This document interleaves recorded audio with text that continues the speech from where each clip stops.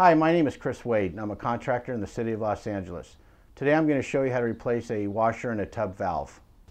When you find that this is leaking, um, most of the time the valves um, are going to have a, uh, a, washer on it. I'm going to show you an example right here. This is the washer.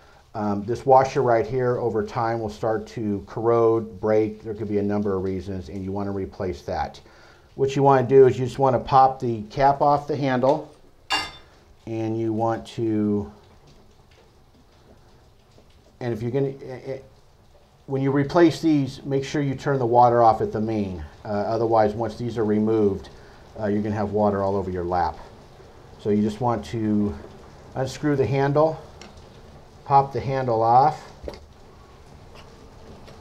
and inside here, you're going to see uh, a valve, a shower valve, which is typically looks like this. It's either going to look like one a small little short one, or it's it could be a long one, or it could be a long and fat one.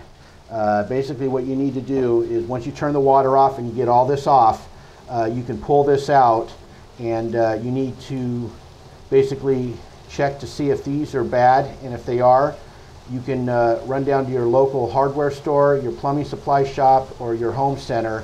You basically need to find the matching uh, uh, kit in order to uh, fix one of these things. And uh, what you do, uh, you basically just put it back in the way you took it out. And there are a set of tools that are basically specifically for these stem valves. You can see there are different ones. So there's going to be a different, uh, different type of tool.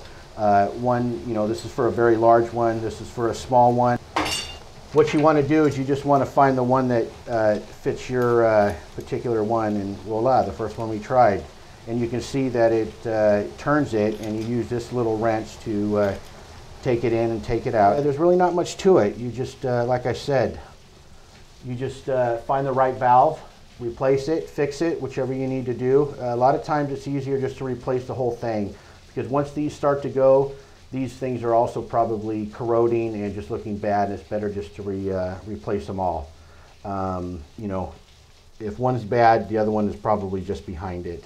And uh, there's really not much to it, you know. Turn off the water, make sure the water's off, find the right valve stem, find the right wrench, and uh, you can do it, save yourself some bucks.